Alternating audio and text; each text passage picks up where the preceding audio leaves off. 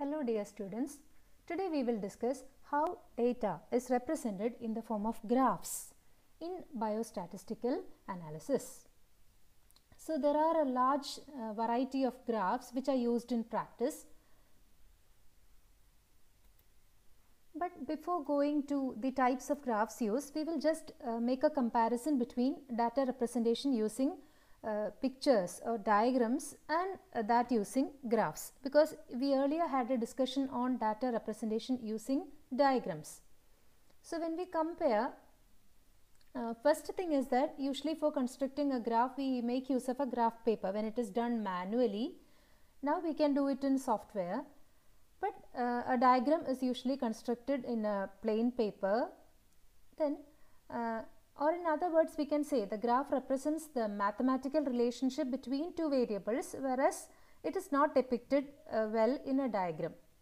The second thing is uh, though the diagrams are attractive to the eye they give uh, or they give an analytical value for a layman but uh, not in the point of view of a statistician or a research worker. But graphs are very much used by statisticians and research workers in analysis because they more accurately represent the data to scale. Third is usually graphs are more preferred for uh, representing frequency distribution, time series etc. Uh, graphs are more appropriate and uh, in fact for presenting frequency distribution diagrams are rarely used. So this is a comparison between the use of graphs and diagrams. Now we will go to the different types of graphs used in data representation in biostatistics. So we can categorize them into line graphs and graphs of frequency distribution. So the two categories are line graphs and graphs of frequency distribution. The graphs of frequency distribution in turn are of different types. They can be in the form of histograms or frequency polygons, smooth frequency curve and cumulative frequency curves or ogives. So, these four are the types of graphs which are used for representing frequency distribution. So, first we will go to the graph of time series or line graphs. Line graphs are used when we observe the values of a variable at different points of time. A series will be formed. So, that is known as a time series. And the technique of graphic presentation is extremely helpful in analyzing changes at different points of time. Usually on the x-axis, x-axis we generally take the time. So here you can see the various years and on y-axis we take the value of the variable. For example, here in y-axis the population size is shown. So we are representing the uh, change of population throughout this period that is within a period of uh, 10 years starting from 1980 to 1990. On the x-axis the time is plotted and on y-axis the variable will be plotted. The graph thus formed is called as a line graph. They are uh, widely used. They are very simple to understand. Uh, you can e easily make it and they are most adaptable to many cases. Technical skill is also not required and uh, many variables can be shown on the same graph and a comparison can also be made. Now, so this is how you see, you can see uh, in each year what is the population and uh, line graph is shown here. And these line graphs, another data I will show you which will which can be de depicted through a line graph that is here. You can see uh, it's no, uh, not necessarily uh, be time always on the x-axis. Here you can see a particular drug used for inhibiting inflammation. So, you can see when we increase the dose of the drug, the inhibition, the percentage inhibition of inflammation is also increasing. So, such changes over a period of time or over a range of concentrations or over uh, such observations we can uh, represent with the help of line graphs. Now, the line graphs are two ways. One is called as an arithmetic line graph which is constructed on a natural scale and the other is called as a logarithmic scale. In natural or arithmetic scale, absolute changes from one period to another are shown. So, here you can see this is this one is the absolute scale. So, here it is the arithmetic scale where the absolute values are, values are shown. For example, at a concentration of 3, uh, you are getting a percentage inhibition of around uh, 33 or something. At 6, you are getting 42. At 9, you are getting uh, somewhat near 70. So, here we are plotting the absolute values. The absolute changes are being shown here. Whereas, in logarithmic scale, what you say is the rate of change or the relative change is shown. That means it shows you the trend. It is showing you the trend. So, this is the logarithmic scale. This is the trend line. It will only show you the trend or it will show the rate of change. So, here what you see is one built on an arithmetic scale and here is the trend line which has been constructed on a logarithmic scale. So, this is how you construct the two types of line graphs that is arithmetic and logarithmic. Again give you a clear idea. This is one which is constructed on an arithmetic scale and this is one which is constructed on a logarithmic scale. So, logarithmic scale or ratio scale will give you the trend line. Go to the different types of graphs of frequency distribution. So, the manner in which the frequencies are distributed over the different classes is called as frequency distribution of the character under study. So, there are many ways to represent a frequency distribution. The first one is histogram. What is histogram? It is a set of vertical bars whose areas are proportional to the frequencies represented. So, you have many bars whose area will represent the uh, frequencies on the uh, uh, frequencies represented. So, uh, while constructing a histogram, the variable is always taken on the x axis. Here the body mass index, it is always taken on the x axis and the number of individuals showing each is on the y axis. So, here you can see the body mass index is given and here the number of individuals who belong to each BMI category. So, you can consider them as class intervals that is 18 to 19, 19 to 20, 20 to 21, 21 to 22 like that. So, each class is represented by a distance on the scale that is proportional to the class interval. So, here I told you this is 18 to 19, 19 to 20, 20 to 21, 21 to 22 like that. So, the variable on the x axis and the frequency on the y axis. So, this is how a histogram is constructed and the uh, each vertical bar has an area which is proportional to the frequency represented. Before going to the next frequency distribution, we will just take a comparison between a histogram and a bar graph. Bar graph is actually a diagrammatic representation. Histogram is a graphical representation. So, we will see the differences. This is a bar graph and this is a histogram. Bar graph consists of rectangles which are normally separated from each other with equal space. So, here you can see gaps in between. Each bar represents one observation. Okay, so here one country is represented. So, there will be gaps in between.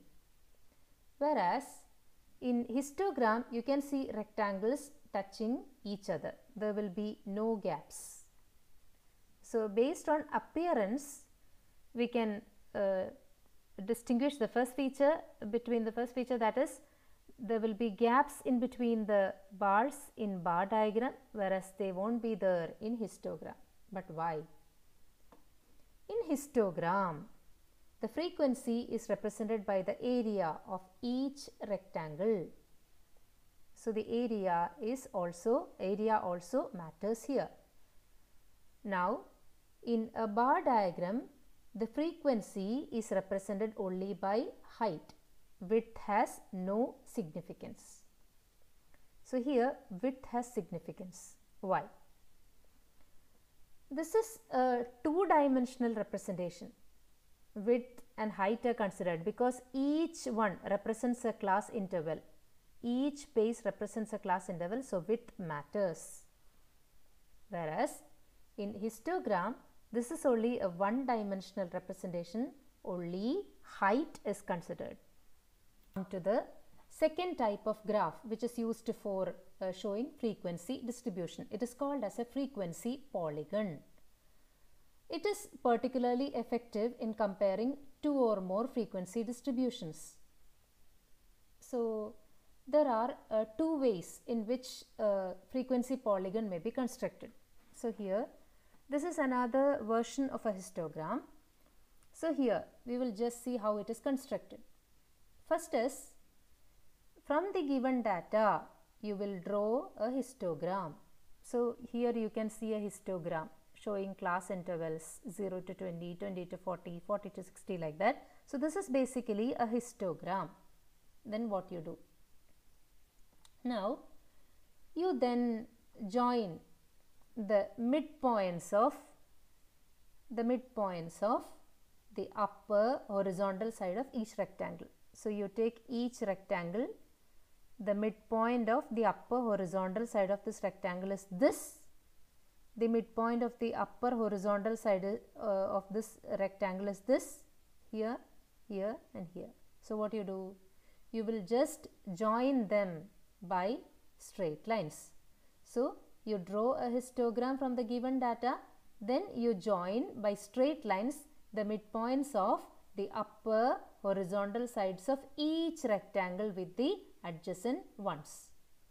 The figure thus obtained is called as a frequency polygon. So, here you can see the frequency polygon is superimposed on the histogram. The line segments pass through the midpoints at the top of the rectangles of the histogram. Now, there is, uh, so uh, it starts from here and ends here. But sometimes you can also see that these lines both the ends of the polygon are extended to the baseline. Here you can see here even if you do not do it there is no problem but some statisticians will uh, represent data like this that is uh, they will prefer to close both the ends of the polygon by extending them to the baseline. So, here it is extended to the baseline and here it is extended to the baseline. Why? This extension is made to make the area under the polygon. So, this area, this area under the polygon equal to the area under the corresponding histogram. So, that is why it is extrapolated. So, this will make the area under the polygon equal to the area under the corresponding histogram. Now, of constructing a frequency polygon without uh, constructing a histogram. So, here what you do is you take each class 0 to 10, 10 to 20, 20 to 30, 30 to 40, 40 to 50, 50 to 60. So, here the time is being plotted on the x axis and the frequency is plotted on the y axis. So, here what you can see is the midpoint of each class is taken so, this is the midpoint of 0 to 10, this is the midpoint of 10 to 20, okay, the midpoint is taken and uh, against each the frequency is plotted. So, the frequency corresponding to each point is plotted without constructing a histogram you can do it. Then, then what you do? Then you join all these points by straight lines. So, even without constructing a histogram, we can directly go for a frequency polygon by uh, taking the uh, taking the midpoint of each class interval and plotting the frequency and then joining the joining them with the help of straight lines. Let's take a comparison between a frequency polygon and a histogram. Frequency polygon has a special advantage over the histogram here what you see? Here you can see uh, two uh, different different distributions can be plotted on the same axis. This is uh, the weight which is shown in x axis, frequency which is shown on y axis maybe it is of cattle. So, uh, this line represents that of herd 1 and this line represents that of herd 2. Okay. Uh, many other uh, that uh, observations can also be plotted here or other distributions can also be plotted in the graph. So, the frequency polygon has a special advantage that uh, several distributions can be plotted on the same axis so that we can make comparisons. So, here this will give you space for comparing the two data and histograms are but histograms are preferred when classes are a few but if classes are numerous uh, we usually go for frequency polygons. The third type of frequency distribution that is a smoothed frequency curve. A smoothed frequency curve can be drawn through the various points of the polygon. So, here uh, it is drawn it is uh, drawn like a smooth curve. The curve is drawn freehand in such a manner that the area included under the curve is approximately the same as that of the polygon. So, why is it drawn like this instead of constructing a frequency polygon? This will eliminate any accidental variations that might be present in the data. And uh, frequency curves usually met with, uh, uh, now we will see the different types of uh, frequency curves. So, here there are uh, different types of frequency curves. How do we classify them? So, the first based on the skew. So, what do you mean by skewing? It means symmetry that is the how much the uh, variables depart from the central value or the symmetry or departure from the central value is called as skewness. So, here you can see this is a symmetric distribution. In a symmetric distribution, the mean, median and mode will coincide, they will be the same. If it is not so, the distribution becomes asymmetric. This is asymmetric, this is also asymmetric. And this is called positive skew and this is called negative skew. If the right tail is longer, it is called a positive skew, positively skewed distribution. Here, it means that the mean is greater than median, which is in turn greater than the mode. Then, if the left tail is longer, we get a negatively skewed distribution for which the mean will be less than median which is in turn less than mode. So, that is how the distributions vary between positive and negative and there are also normal distributions. In normal distribution the mean, median and mode will be the same. In positively skewed distribution the mean will be higher than the others. In negatively skewed the mean will be the least value of the least value than the median and the mode. So, skew shows the symmetry. Parameter which we look into in a frequency curve is the kurtosis. Kurtosis gives a measure of flatness of distribution. The degree of kurtosis of a distribution is measured relative to that of a normal curve. So, here you can see this blue one is a normal curve set on certain standards. So, this is the normal curve the curves with greater peaks than the normal which is more peaked than the normal is called a leptokurtic curve. Whereas you look at this curve, this is flatter than the normal curve. It is called as platykurtic. So, the curves with higher peaks than the normal are called leptokurtic and the peaks which are flatter than the normal are called as platykurtic and a normal curve is said to be mesokurtic. So, kurtosis gives a measure of flatness or distribution. So, in a smoothed frequency curve, certain parameters are looked into. That is whether it is normal or positively skewed or negatively skewed. Whether it is normal or leptokurtic or platykurtic. Type of frequency distribution is called as ogive or cumulative frequency curves.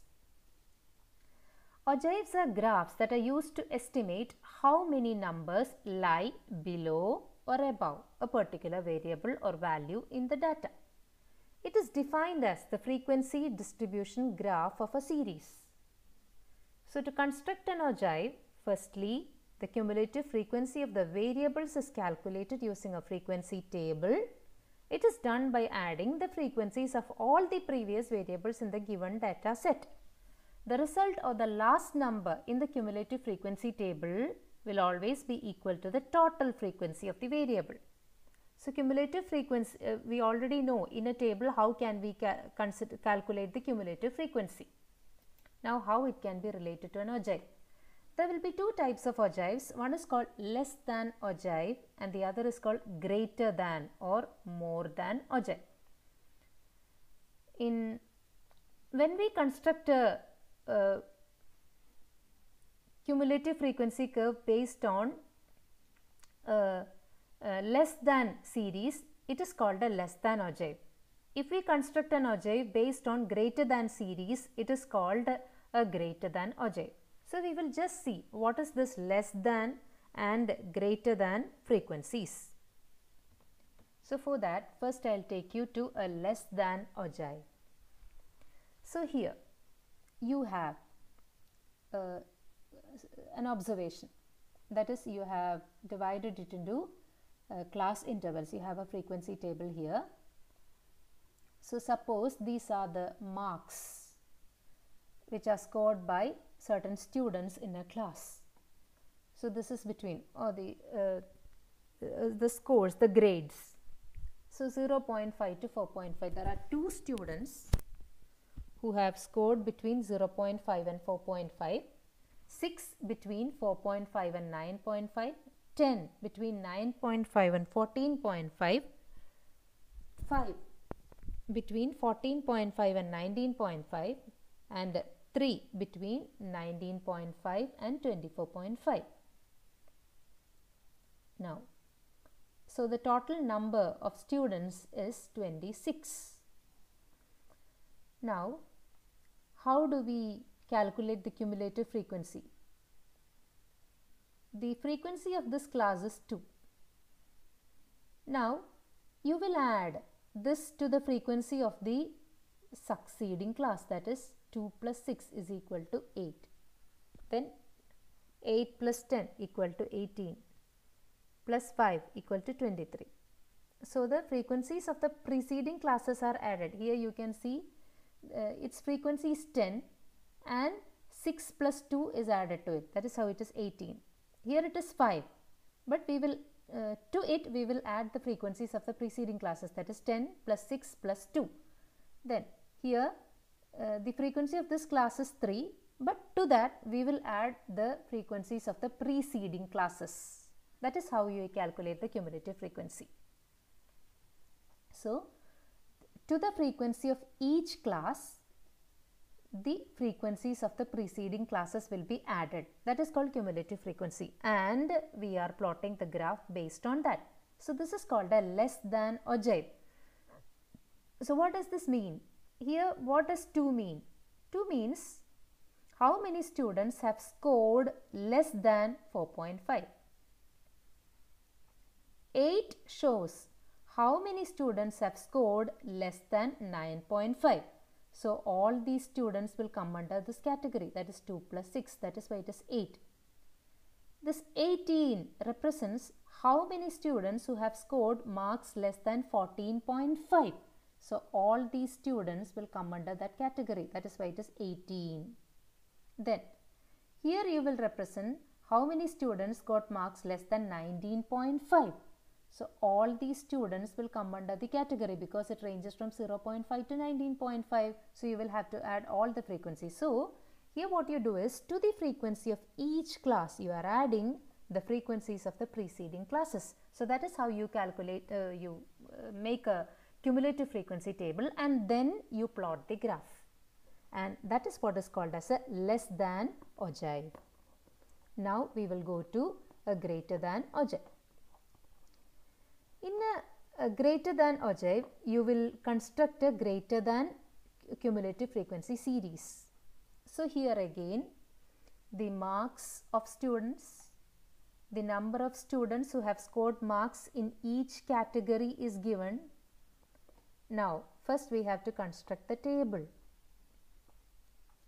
Earlier it was less than but now it is more than. So how many students have scored more than 1? All these students have scored more than 1 because this is 1 to 10, 11 to 20, 21 to 30, 31 to 40 like that. So all students in the class have scored more than 1. That means all the 60 students have got marks more than 1. Now Next is how many students scored marks more than 11. Out of all the 60 students except this 3, all others have scored marks more than 11. That means 60 minus 3 equal to 57. Now, more than 21. 60 students of the class except these two categories scored more than 21. So, uh, 60 minus 3 and 8 is equal to 49. So, that is how you prepare a greater than cumulative frequency series. So, for the first class you will write the total frequency then you, sub uh, you subtract. So, from uh, the frequency you uh, then what you do is uh, you will um, subtract the frequency of the preceding class here you can see the, uh, successively the frequency of the preceding class is subtracted. So, that is how you prepare a greater than cumulative frequency series and based on that we will have a graph. So, this is a greater than ogive graph. So, what difference did you see? This is a less than ogive and this is a greater than ogive. We can see the difference in the directions are the various types of graphs which we use for representation of data. Thank you.